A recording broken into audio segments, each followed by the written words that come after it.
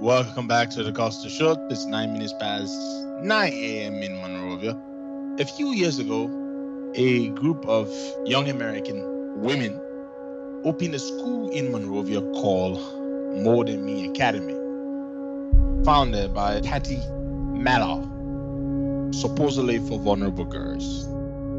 More Than Me help people to take them out on the street, help them go to school to learn better. Yeah. Mm-hmm. More Than Me change many girls' life. Because they say I should make our dream come true. My name is Katie Meyler, and I'm the founder of More Than Me. And we help some of the world's most vulnerable children get off the street and into school. More Than Me started originally as a scholarship for kids in a slum in Monrovia, Liberia.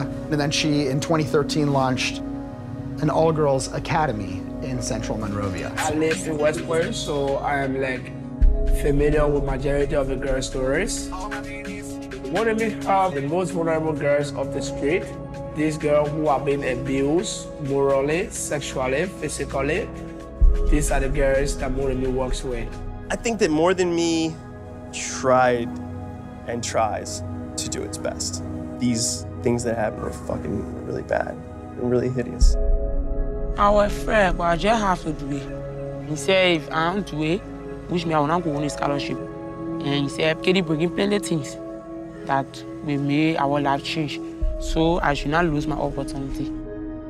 It was a tight group of people who truthfully, truthfully believe they're doing something amazing and good, who truthfully believe that the institutions in Liberia are so bad that you really can't get worse. So there's nothing that they can do that they don't see as a win for those kids, including the unthinkable. Look at an 11 years old child or 12 years old. I couldn't really imagine that they were really having sex. See what they have to live with. See how young they are for their life to, to have a question mark, I will say it that way.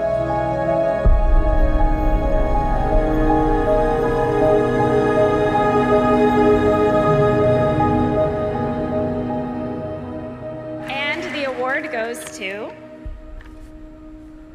More Than Me Foundation.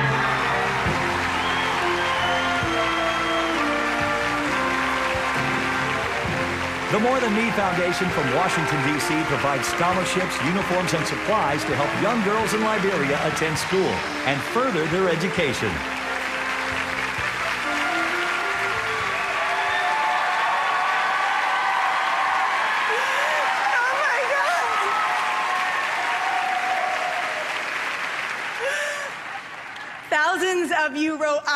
Abigail on your face. You flash mobbed. You learned how to use Twitter for the first time. And you did this for Abigail, a little girl in Liberia who doesn't have a mom or a dad. A girl who was on the street selling herself at 11 years old because she didn't have a glass of clean water. There should be no little girl forced to work on the streets when her biggest dream is to go to school. It always seems impossible until it's done. Now let's go do it.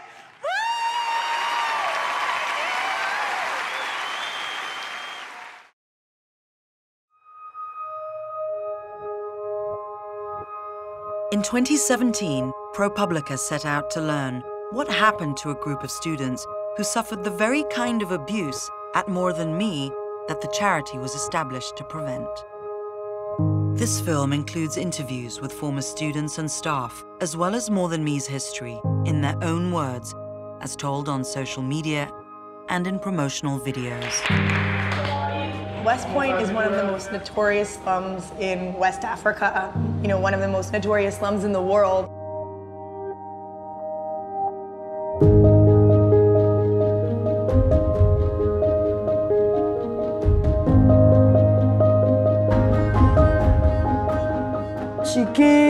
Playing with children. When she come in the community, she dance, she play. When you eating, she will pull him and eat with you. Yes, she loves people. Katie Meyler first visited Liberia shortly after college interning with an evangelical charity. I made friends with all these street kids, and we're drawing, you know, donkeys in the sand, and I'm like throwing these their naked children in the ocean. They don't have bathing suits. And we would spin and spin and spin, and we'd fall on the ground. And I looked at these children and I said, if, if you could have anything in the entire world, what would it be? And over and over and over again, these children were saying that they just wanted to go to school. Katie and I met about three years ago. We were in a little coffee shop in Baltimore, kind of tried to pick her up. And then we had this sort of connection. I don't know, we were these kindred souls, these spirits.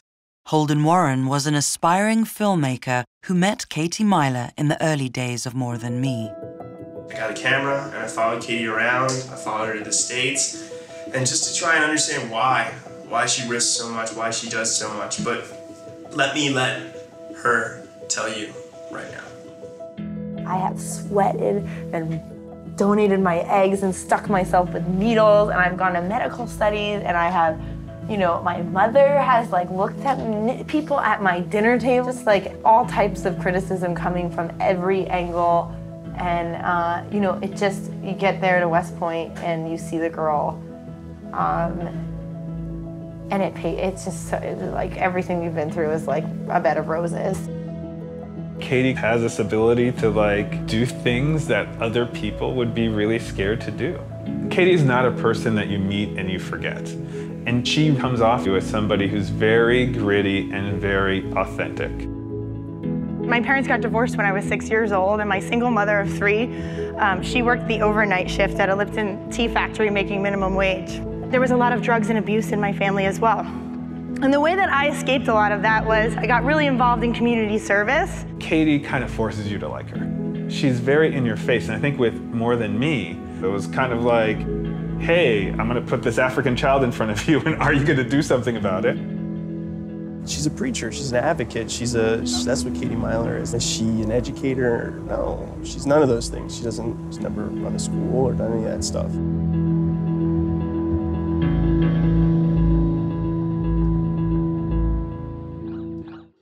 This crazy thinks that I can love ignorance, hurt, and hate away in the way that I live day to day. I'm gonna dance the world's sadness away. Or at least I'll put a smile on your face. oh my god! That was awesome!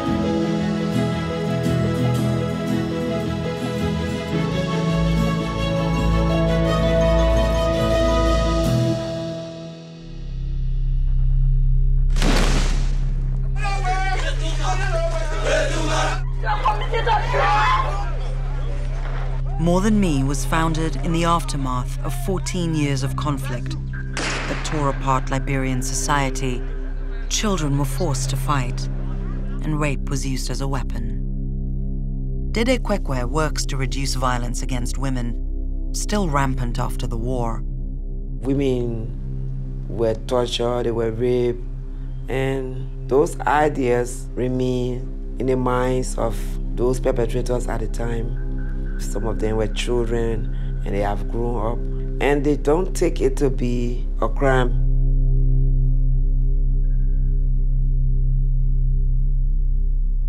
Welcome to my beautiful country, Liberia. My name is Macintosh N. Johnson.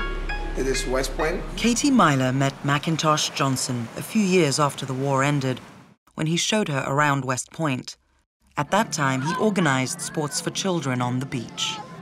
You know, he played with the kids and they'd all gather around. He was out in the streets. He showed me where the kids were. They're sleeping under canoes. He walked me through the whole place. I met all the prostitutes. They were all like 10, 11, 12, you know. They all kind of knew him and hung around with him.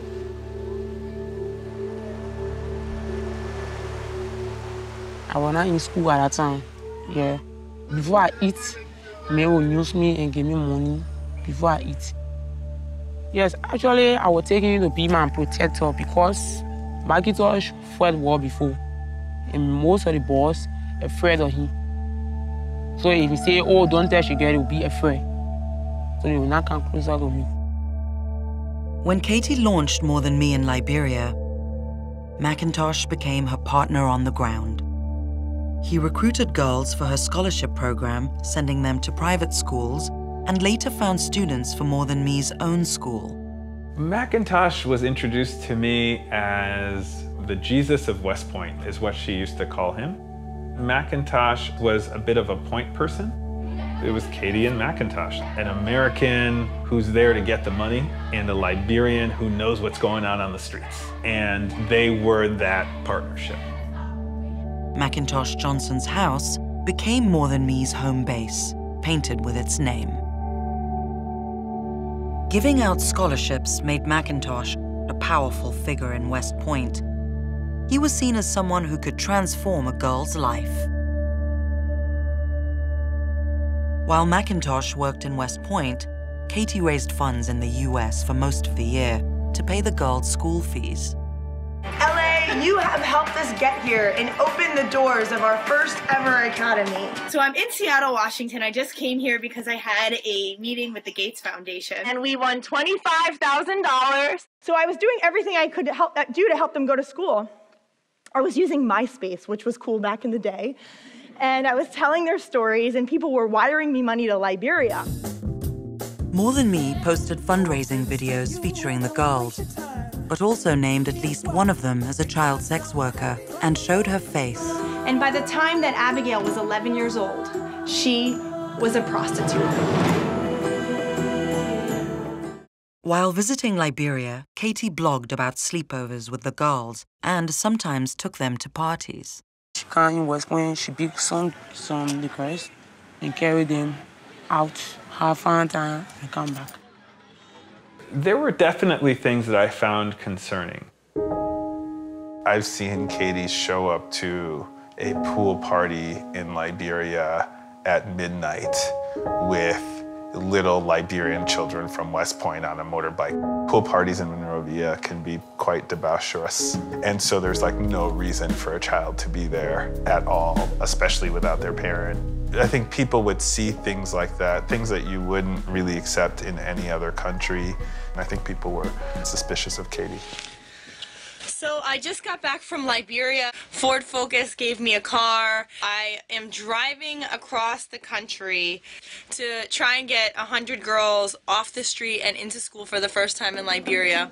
But then you'd see her do something so breakout amazing. We did it! Woo! That you kind of had to support her. Katie is a fundraiser. Katie knows how to talk.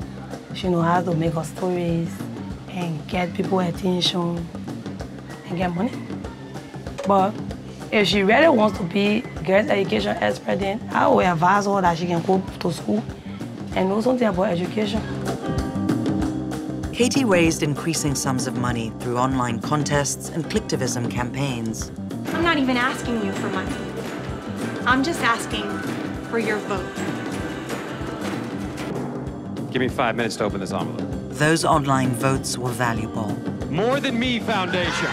In 2012, More Than Me competed for a million dollar prize from the American Giving Awards, sponsored by JP Morgan Chase. The charity with the most Facebook votes would win on live TV. Thank you so much for your support. We're here in Liberia, right next to the future school building that we're building. We have a lot of work to do here, and we need your help. With the new funds, Katie Meyler set up her own school, the More Than Me Academy, in a war-damaged building that Liberia's president, Ellen Johnson Sirleaf, offered to her rent-free.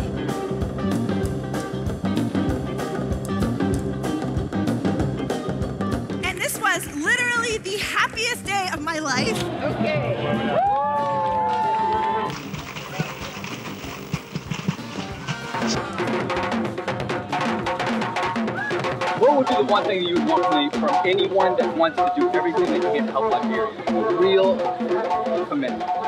to expand Katie Meyler's initiative to as many communities as possible and get all those young girls in school learning to become good professionals. The fanfare of the opening day gave way to a hopeful, if chaotic, first school year.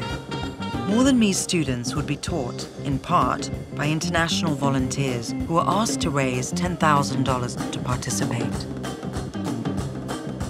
And I don't think a lot of them were actually teachers, were actually trained teachers. More Than Me Academy is at an incredible stage of its own organizational development. Um, it has come so far from when Katie's Dream started in 2009. Michelle Spader was More Than Me's program director when the Academy opened. You own your job. There's no director, there's no manager, there's no person.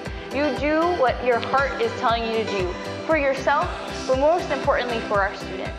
This really could have been the beautiful story that we hear if we had just tightened the organization up. There was an ignorance around how badly things could go if the right structures, governance weren't in place. I think many of us carry different levels of responsibility inside of this. And, you know, I I hold myself very accountable for that.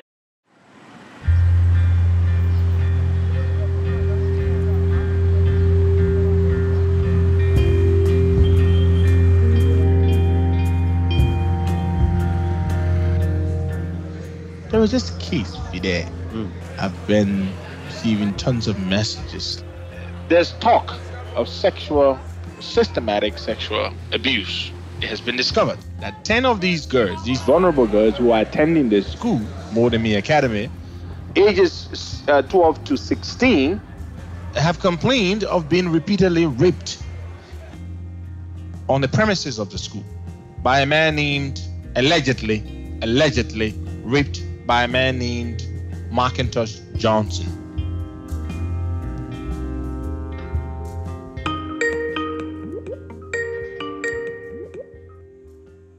Hello, Michelle. Michelle Spader didn't go on camera, but she spoke extensively on Skype. You're okay to talk on the record. Yes, I am okay to talk on the record. Okay. I applied for the job, and when I first met Katie, you know, I was excited by the grassroots nature of what she was doing. Another theme is kind of like growing pains, right? Of like kind of taking this organization from a place where there were slumber parties and, and parties and anyone could be at Macintosh's house at any hour to, you know, what does opening a school and introducing policy and all this stuff. But I think the hard thing is that stuff can't happen just like overnight. Michelle Spader recruited Iris Martor, a registered nurse with years of NGO experience, to be the first school nurse. She was later promoted to program manager. I realized that most of the children, even though they were very young, but they were sexually active. Because a lot of them were coming to the clinic with STIs, signs and symptoms of STIs. Iris first learned of sexual abuse at More Than Me when a student came to the school clinic. I said, tell me the truth. Are you having sex? She didn't want to say, but I could tell from her face that the answer was yes. I said, well, when she told me Macintosh, I just did it. I just went off. I said, how long has this been going for? It was like two years. Two years. So it means she was 13. And two years, so it means she was like 11 when it started. I said, okay. Then I treated her. I gave her the drugs. But I was too trouble. I couldn't tell Michelle that this child is having sex and she said Macintosh is responsible. Why? Because that very day Macintosh just told me that she, he and Katie had a relationship. Katie says their romantic relationship had ended three years earlier, but they remained very close. The personal relationship there kind of created this problem where people felt like they couldn't speak up, students and staff members. So then it was a few months actually until. I told Michelle. Until Michelle. Yes. In those five intervening months, two more students were raped for the first time. I didn't say it all the very minute I knew because I was between this season. Will she choose the girls over her relationship or will she choose her relationship over this girl? I could lose my job. Michelle Spader started talking to students. Yes, as I, I can say, half of the school, Macintosh Johnson was loving to. Michelle quickly learned that Macintosh had been raping numerous More Than Me girls, potentially dozens of them. It was terrible, but in every way. I think my immediate reaction was just like, how could this be possible? I think trying to navigate the fact that the organization like hinged on him, right? Of like, what does this mean? You know, this is not a teacher, you know, or someone who's worked for the organization for six months. Yeah, this is someone who has been integral. Chid Liberty is a Liberian American entrepreneur who joined More Than Me's board. We thought the risk was do 100 girls go to school or do 1,000 or do 10,000? We never really thought about do we set up an institution that effectively rapes children? More Than Me's board at the time consisted largely of American entrepreneurs and marketing specialists with no experience running a school.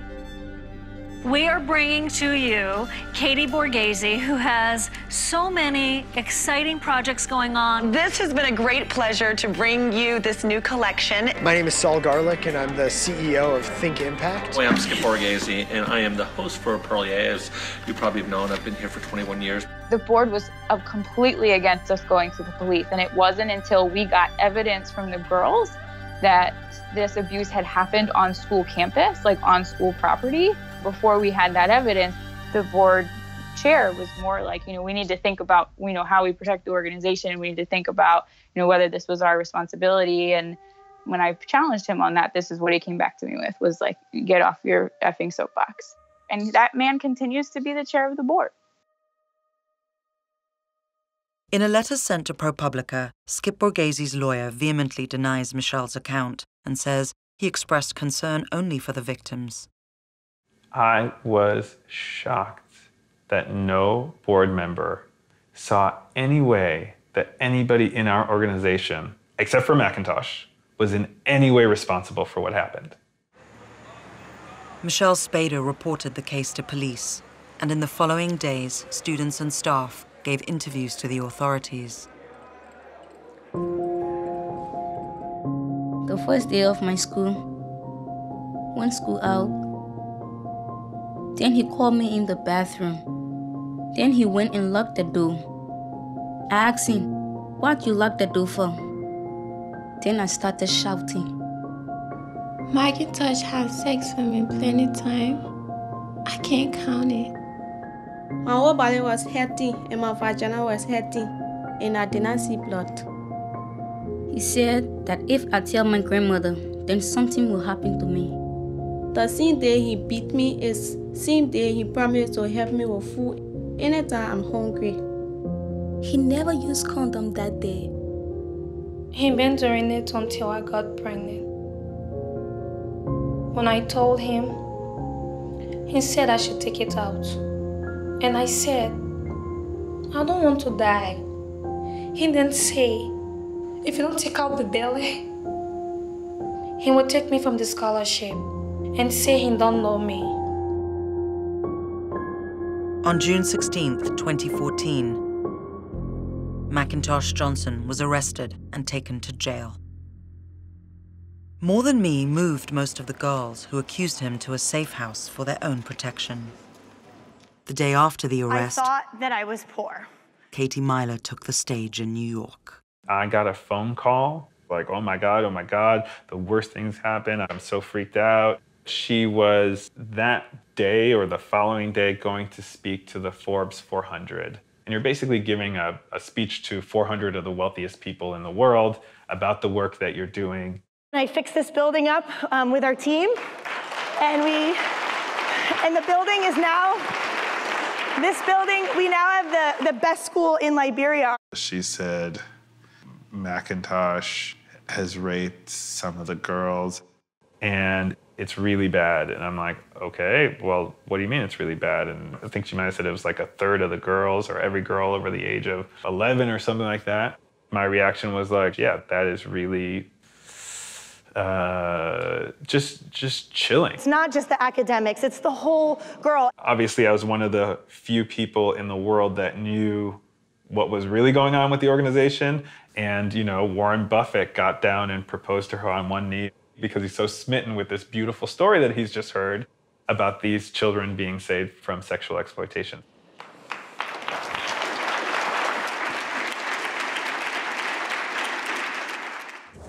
So How did it make you feel when Macintosh Johnson ends up arrested and accused of the rape of as many as 30 girls? Shitty. I don't know. It was one of those things where you were like, ah, fuck, that's not surprising. All of a sudden, and all of a sudden, you're like, and you remember, oh yeah, we did. We asked him about that, and you know, and it didn't. And In fact, long before the school was built, there were rumors about Macintosh Johnson and young girls. And according to Shikeri, Macintosh's first wife accused Macintosh of sleeping with the girls. And it was the reason why she was leaving Macintosh. Michelle Spader gave a similar account when she first reported Macintosh.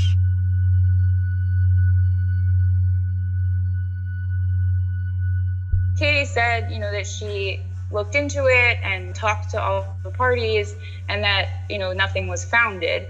But she did say to me in that moment, like, basically, like, it wouldn't surprise me. there was one point where we we did confront him, and because we had heard rumors, I believe it was from his ex-wife, that she said that he was, you know, that he was into young uh, small girls, and so we confronted him. We sat him down. I think I have video of it back somewhere, and we asked him about it, and he swore up and down that it wasn't true, and what could we have, you know, could and, and I don't know, like I didn't run the school. I was just a filmmaker, you know. I, there was an issue. We confronted him about it. I don't know how much more I could have done on my end.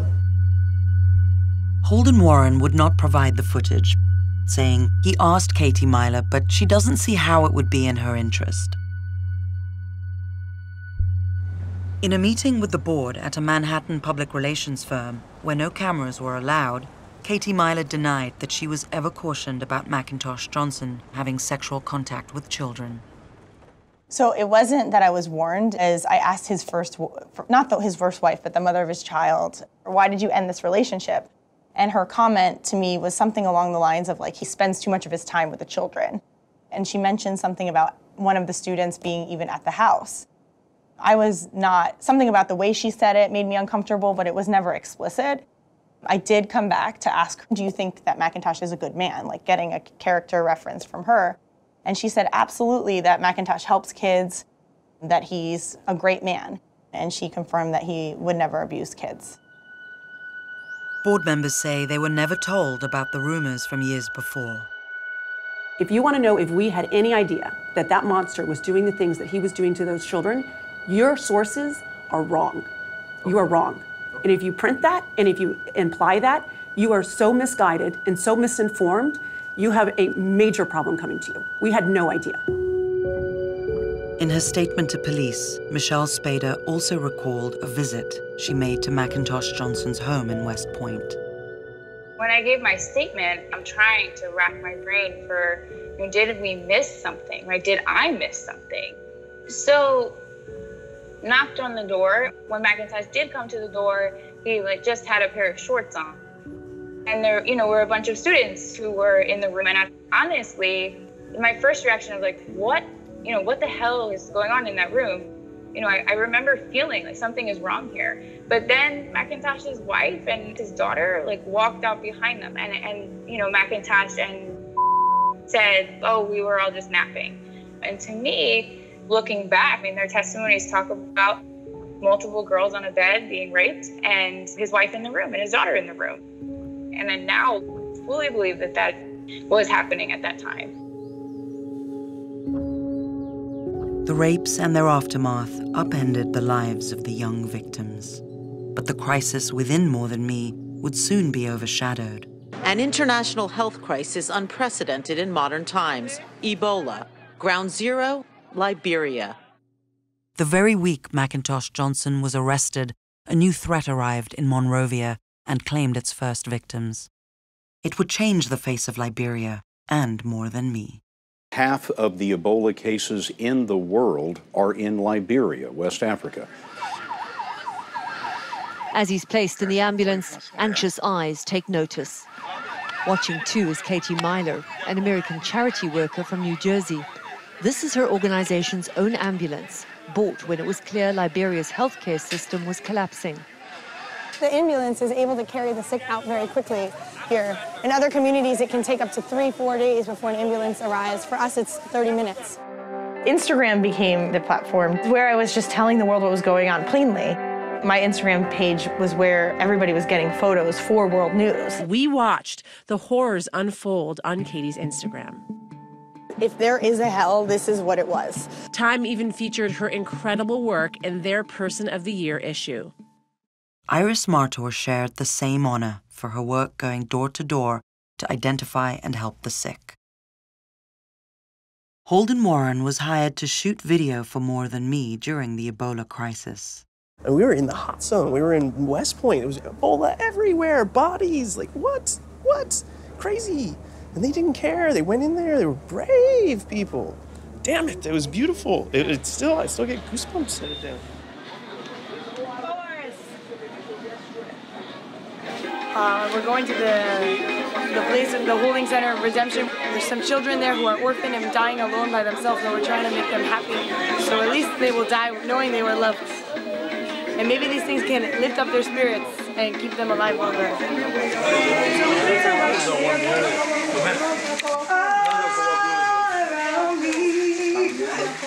I can feel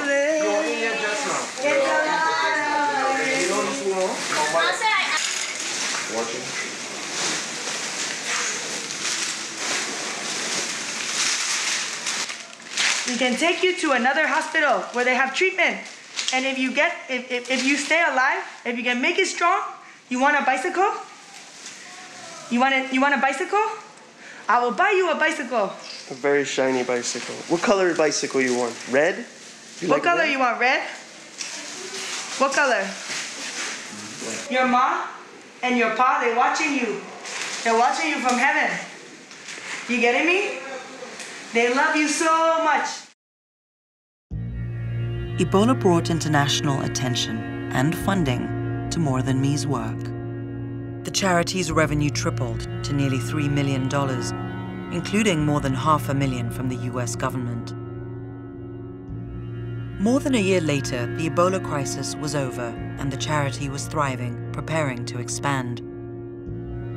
Behind closed doors, Macintosh Johnson's trial finally began in September 2015. Ten girls testified, one by one, about the rapes, their identities hidden from the court. Michelle Spada was the case's original complainant, and before the trial, she promised a U.S. advisor to the prosecution that she would testify. But in the end, prosecutors never called her or Katie Meyler to the stand.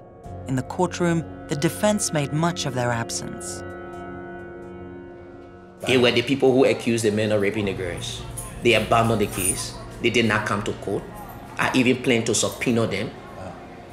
They could no, they could nowhere be found within the bailiwick of the republic. They had all travel gone back to the states. So it helped my case. By the time of the trial, Michelle had left More Than Me and returned to the US. How does it make you feel that your absence in the court was actually a key plank of the defense's case? I mean, I, again, it like makes me sick. Uh, To be very honest with you, Finn, I didn't even know that the trial was going on. I, I had the expectation that it, that I would be a part of that. I, I like I anyone in that organization, you know, and even in the sex crimes unit, um, all those people knew that I would be there in a heartbeat. Katie Meyler was in Liberia during some of the trial. What is your understanding of why you didn't end up testifying in the case? Yeah, I was not, I, I don't, I'm not like a justice, I don't know everything about the Ministry of Justice in Liberia or in the United States, but I was never asked to, to testify and I didn't, I didn't know that I, that was something I should have pushed to have done. Before the trial, prosecutors had learned that Katie was still in contact with Macintosh in prison. They had pulled phone records, Macintosh's phone records, or somehow the sex crimes unit, and showed that there was like continuing phone calls between the two of them. Um, and so I remember having a conversation with Katie of like, there, you know, this cannot continue. But I mean, it was just really obvious throughout this whole process that like the, the conflict of interest there was just like too big. Without any of the Americans testifying, it was the girls' words against Macintosh. The defense claimed they had conspired to lie about the rapes. Many jurors believed it. The jury hung eight to four, just short of Macintosh Johnson going free. More Than Me's leaders tell the story differently. One of the one of the biggest challenges is sexual exploitation, right? The the rape rates are extraordinary and the level of justice is, you know, terrible. So even at More Than Me Academy, we had a rape. Uh, we had a staff member who uh, had raped raped kids, and uh, that happened in the very first year of the school. And when we found out, we threw him in jail, and he, he ended up dying in jail. Saul Garlick left out important facts. The girls would never see Macintosh Johnson retried because he died in custody with AIDS. After he was arrested, I heard rumors that he's sick, he's sick, he's sick, he's sick. In 2015, two students fell seriously ill. They had been named by classmates as rape victims, but denied it. The school had them tested, and both were HIV positive. Although nearly a quarter of More Than Me students had been identified as possible victims, the charity only tested the trial witnesses. One of them also had HIV. More Than Me says that all the students had access to free medical treatment and that HIV awareness was part of their education program. Did the school, number one, make sure that all the girls in the school were tested, bearing in mind that Johnson had contact with a number of different people? No, Do you know why not? I don't know why. They didn't test the, the entire student body. They didn't tell the community about Macintosh. More Than Me board members say they were not told at the time that Macintosh had AIDS. I had no idea because I've never seen any ounce of proof of what he died of. That is a fact. I have no To idea this day, what we don't of. ha- know that. And I doubt. literally- Let me be super clear. It's not my business what he died of. I have In relation to no the girls in idea. this case, It is not your Dr. Fox, business You think it's not your business what Macintosh Johnson died of in relation to your students who were raped? We did not. We did take. Hold on. They tested the students, and I will say, do you not Yeah. realize the Our backgrounds of some of obligation these is to the students that come girls, not to knowing Yeah. Macintosh's cause of death. It took only a quick visit to a government official and a couple of emails to confirm that Macintosh had AIDS. The, the organization is our fourth year. They decided to help. Maybe initially their intention was was was pure, but the person who you use to do the recruitment, if the person did anything wrong, you are held responsible. If Liberia were other countries where parents are highly educated and know their rights, more than me could be sued for their children illness. To me, at that point, you've done so much obvious damage that you really just need to figure out whether you just need to back up and not be the one teaching young girls. I think anywhere else in the world, everybody involved would be in some way held to account. Including you, Yeah, as a board member. absolutely. Absolutely. After Macintosh Johnson died, More Than Me closed the safe house. Most girls remained outside West Point, and the charity continued to pay their school fees. All but one. She was no longer in school and selling herself online to survive. I think if I change and pay attention to more than me, I will be one or one person that will make my family to come up. But actually, after that, after the case, I just feel discouraged because they stop come to me. Yeah, they can pay attention. If I call them, no way. If I go on, on the campus, they will not pay attention to me. Katie, she carry me far and, and stop that my whole my whole life looking upside down. I don't understand anything about my life.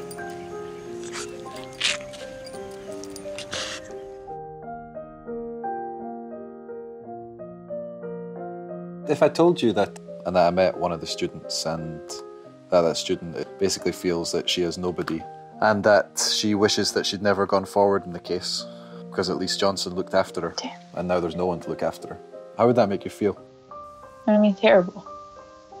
I mean, I mean that means that we have failed these young women who had such strength to come forward and tell their story. But I mean, it doesn't surprise me. I don't think there's this deep sense of responsibility from the organization that you know you you owe these girls something for what they went through. I I don't believe that that's there. I think that it should be. And Katie doesn't even want this to be mentioned. She feels that the case became an embarrassment to her prestige.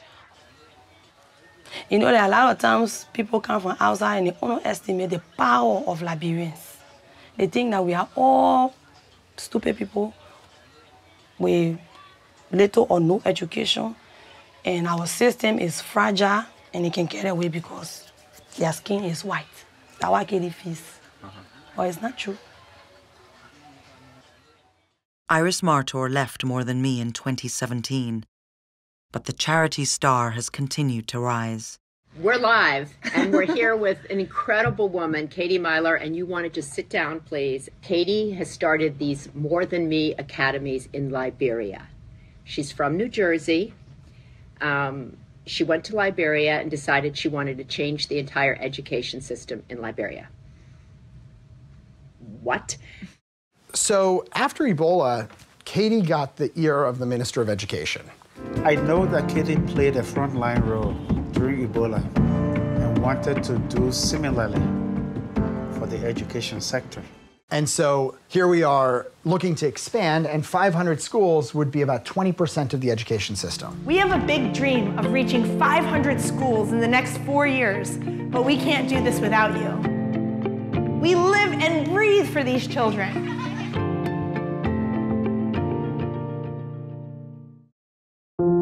Chid Liberty left the board in early 2015, but continues to work in Liberia. I believe that race plays a very important role in this story. There's no way that any serious person can look at everything that's happened with More Than Me and not at least put the racial lens on to explain how this many children could be abused and a whole group of people who were supposed to be responsible for it just kind of were like, well, we did the good part, but like the abuse part, that wasn't us. Katie Meyler and her top board members continue to run More Than Me. The charity says that in the years since Macintosh Johnson's arrest, they have introduced rigorous child protection policies and increased staff training. The organization currently runs 19 schools and says it has some 4,000 students in its care. The customer for More Than Me is not the children. Our customer is the donor. And our customer has no idea what's going on with kids in Liberia, nor do they really care. What makes our customer feel good is to get a video, to get a link, to read a website, to go to a party, and to say, I support Katie Meyler. Do you know Katie? Oh, I know Katie. And so, as long as the beneficiary is separate from the customer, at the end of the day, what else is the customer getting but a story? More Than Me is about the way we live our lives each day, the way we care for each other, and, um, and take the time and just and love with our lives. We're living for something greater than just ourselves every day, no matter where we're at. 别挤啊哈哈哈哈哈